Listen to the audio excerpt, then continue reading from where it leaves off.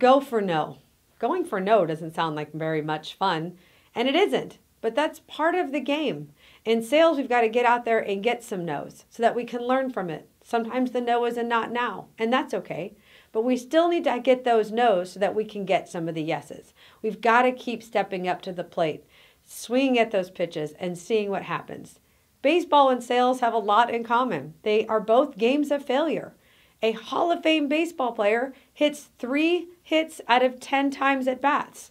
That's amazing. That means 70% of the time we're unsuccessful.